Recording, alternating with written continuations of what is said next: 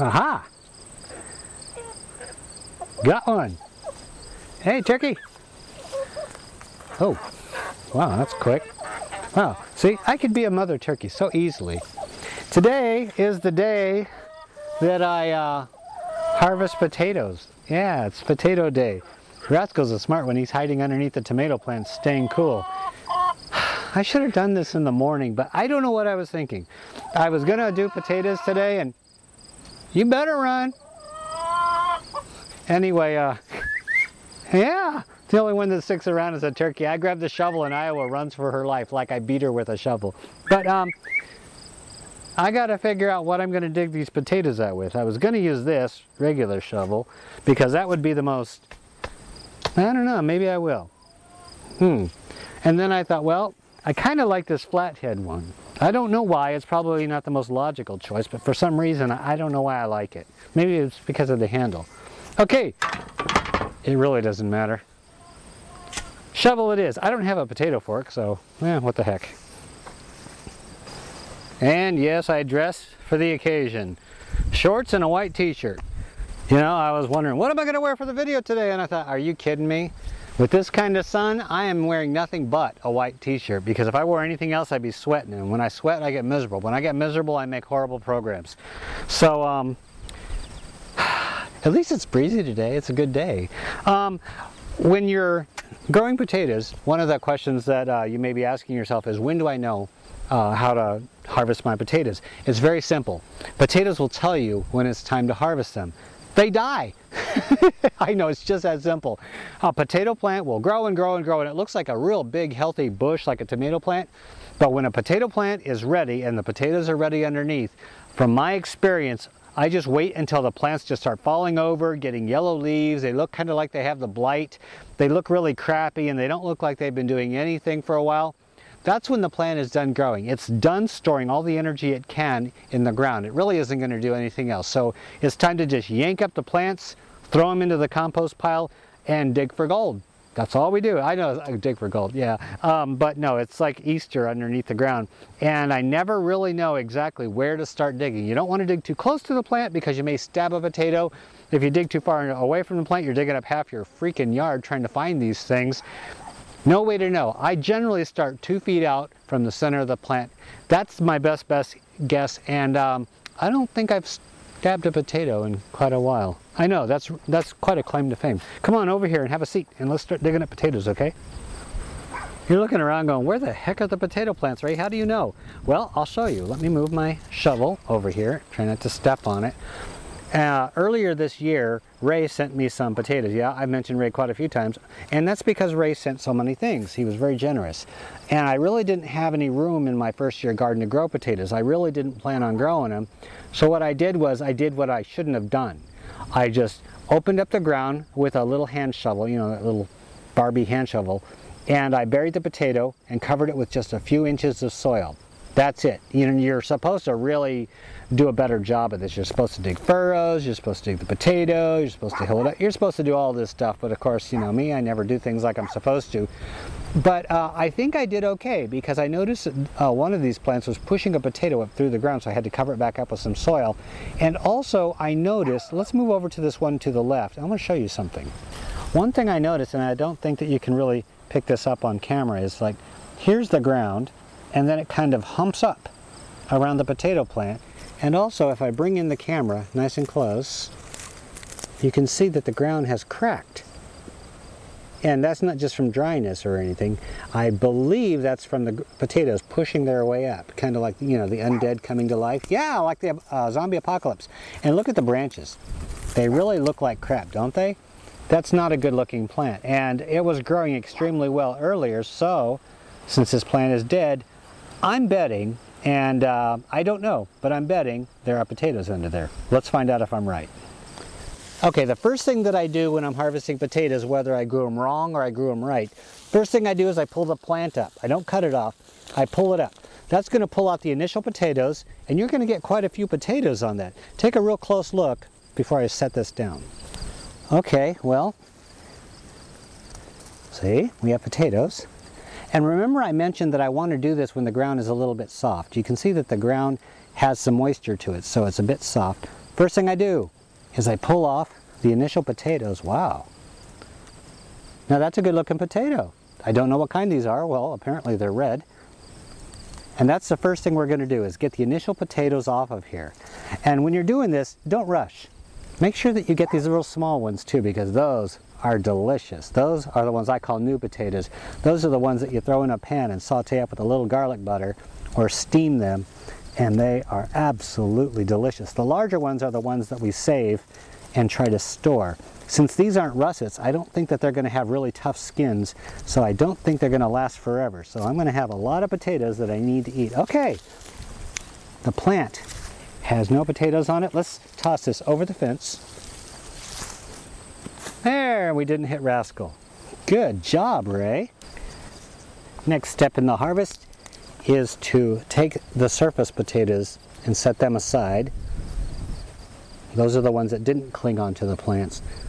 Those are good looking potatoes. Now I planted these I believe in, um, what was it, April or something like that? I don't know when it was. And uh, I don't really have a time frame for how long I grow my potatoes. There really, oh, there's another one. There really isn't any time frame for it. I just grow them until the plants die. Yep. And I could have planted them later and then they would have ripened later in the season. So, hmm, not so bad. I had no idea how many potatoes you're supposed to get per plant. Okay, well, there's all the surface potatoes. Let me back you up and let's start digging. Okay, little guys, you gotta move. Yep, don't want you to get hurt. Now you want to be gentle when you move the potatoes around. You don't want to go tossing them really hard into any container. Set them in gently because if they hit each other, they may bruise the skin off of it, and once the skin's off of it, that potato has a very high possibility of rotting. So you want to be gentle with those. A lot of people don't think that you need to be gentle with potatoes. Ooh, there's one. Take out the soil, gently flip it over. Now this is a mixture of compost, loam, and of course clay. Ooh, clay. Potatoes are wonderful at breaking up clay. And that's a great thing. I guess a lot of people like to plant potatoes in first year gardens to get that soil loosened up and I can see why because potatoes would be good at that. Now I didn't plant my potatoes deep and you can plant your potatoes deep and some people say that you'll get more potatoes that way. Possibly. I'm going to try a, uh, an experiment next year. But I didn't plant mine deep, so I know that they're not going to have potatoes way the heck down. So there really is no need for me to plant, uh, to dig very deep. I think all the potatoes that I pulled out of there are all I'm going to get. Wow, that was so easy. the easy part about not planting your potatoes deep. You don't have to actually dig deep to get them. Wow, son of a gun. Okay, well, ooh, cricket. Yeah, you better run. Feed you to my chickens. Easy peasy. All right, let's go on to the next plant. We gather up the plant. Hey, you can even see a potato right at the surface. You want to make sure you keep your potatoes covered while they're growing. Otherwise, they could turn green. And that's not, hey, I think a bug's crawling up my leg. That ain't good. Okay, gently pull it up. And see, when the ground's uh, moist, slightly moist, the potatoes come out so easy and they don't rub up against hard clods. A hard clod can scrape your potato and that's not going to be very good for it. Take a look at this. It's actually quite amazing how one potato can grow on the tip of one little root. They did really well. I'm very happy with these. Don't know what they're called, but I do know that they did really well. And I didn't do anything to these except toss a potato into the soil, water it with compost tea, and possibly it was the compost tea that did the wonders for it, but I think it did pretty good. You know, there are people that want to grow for massive yields or huge uh, fruit, but I don't grow that way. I just grow it for the fun of it, and whoop, there goes a potato plant. And uh, I grow it for the fun of it, and I grow it because I like to eat. And that's why I do what I do. So a potato this big is going to make me just as happy as a potato this big because they all taste the same. Holy cow, this crap weighs more than I thought. And um, you can compo uh, compost your potato plants, but I don't. I just kind of, I take the, the easy way out. Uh, tomato and potato plants and other vines like cucumbers and watermelons they tend to be a little stringy in the compost pile and I've tried turning compost when I had those in there and it's just so irritating it takes all the joy out of my life so I just throw them off off to the side and this area over here is the, the stuff that I want to compost but I don't want to actually hot compost it and mess with it. It's what I call my lazy pile and uh, my lazy pile is just going to sit there for years and break down slowly and gradually and eventually I'll have some compost. But I don't need compost that bad where I'm actually going to compost it here and go through the hassle. Uh, you can take tomatoes, potatoes, any kind of garden plant, you can compost it. Thing about these is you want to chop them up before you put them in there. And you can either chop them with the knife, with the scissors, chew them up, use a lawnmower, whatever you want to do. I don't feel like doing it. So um, next step in the potato thing, come on over here and it's hot. take a tip from Ray. Don't take tips from Ray on doing potatoes in the afternoon.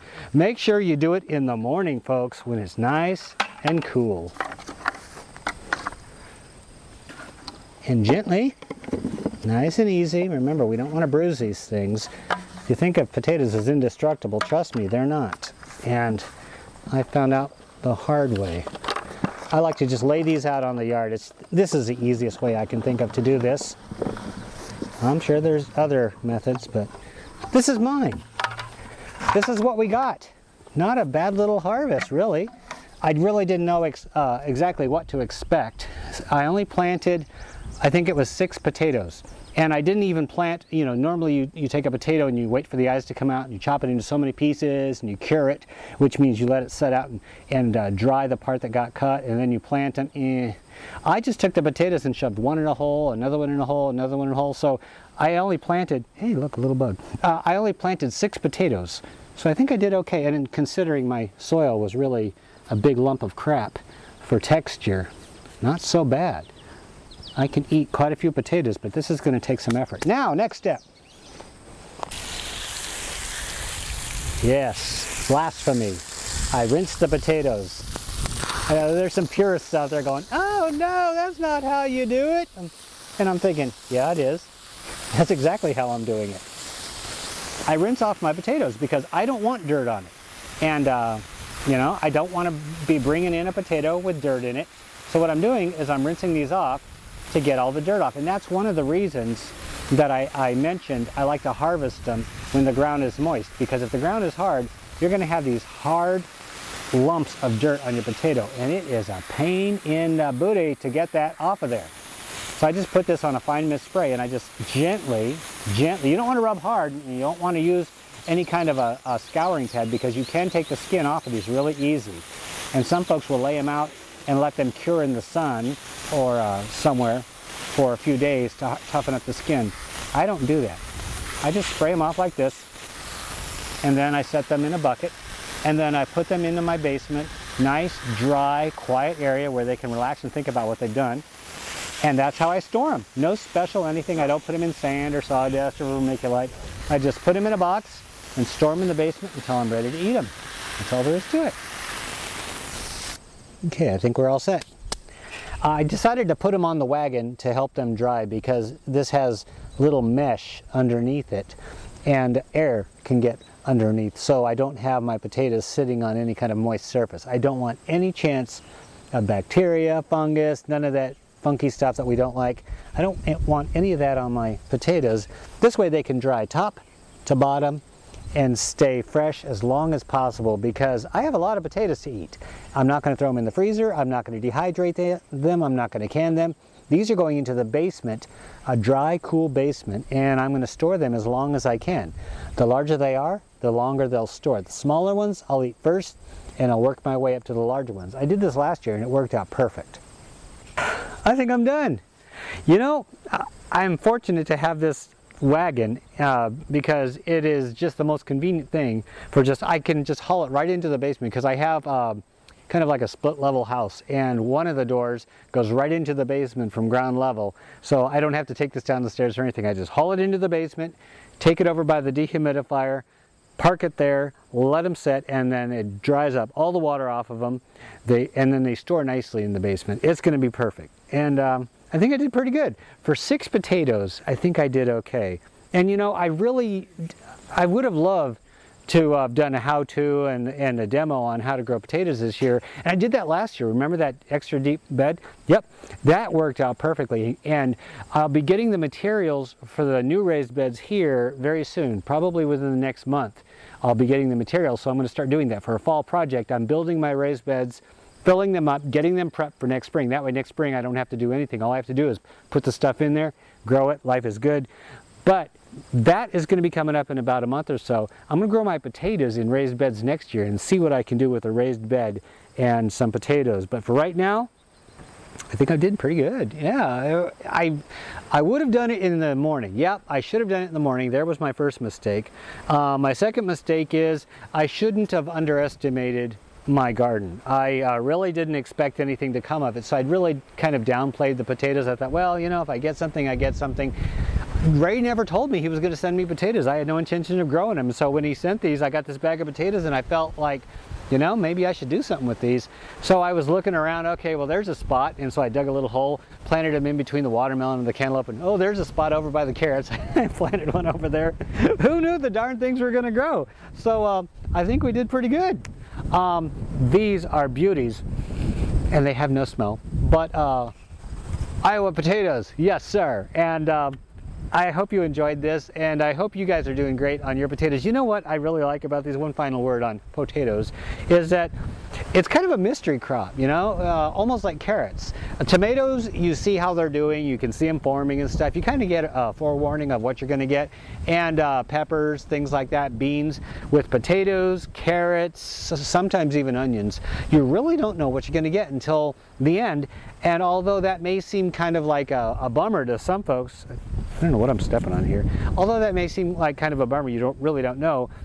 For me, it's, it's I love surprises. And uh, so this is actually a very pleasant surprise. It could have been a catastrophe, and I was totally ready for that because I, I really didn't expect much. So bonus, potato bonus. I have green beans in the freezer, all kinds of green beans, and I have a lot of potatoes. I'm going to have a lot of peppers. I have the three staples of life as far as I'm concerned. As long as I got peppers, potatoes, and uh, some carrots, and a few tomatoes, I'm fine. I like the basics, you know? I grow the extra like uh, spinach and pea pods and stuff just as kind of like icing on the cake. But I want to make sure I have my staples. And uh, next year I'm going to grow more of the staples. I'm going to grow the carrots, the beans, uh, the tomatoes, the peppers, the, the foundation of what I like to eat so that I can fill my freezer up. And I haven't forgotten about the four by eight garden. Let's see if I can grow enough vegetables for one person for one year. I have some plans on that and I think it's going to surprise you. I know you're going to like it. But for right now, I'm to get these into the basement, go sit down, have a Diet Coke and relax because wow, what a day. It's a beautiful breeze, by the way. It's a beautiful day out here as long as you're not over there in the sun, and I'm not. So thanks for joining me out here on the farm. I really do appreciate it. And um, might as well bring old crackhead over here. Everybody always seems to want to see him star the show. Hey, Hey, come here. Rascal, come here. Don't be such a butthead. He killed a mouse today, you little murderer. I was out mowing the lawn and a mouse jumped out and yep, there he was. Out killing a mouse. Say hi.